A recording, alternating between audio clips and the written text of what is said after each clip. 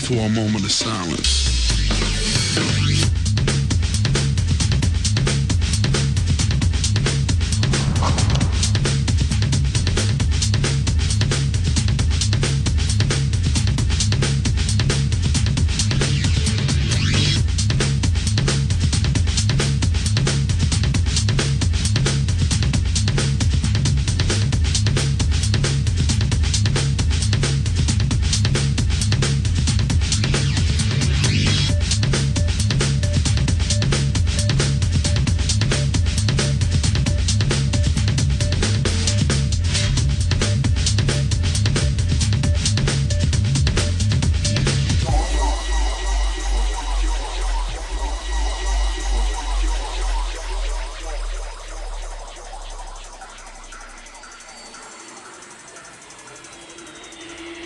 It's like being in the position to get yourself lynched.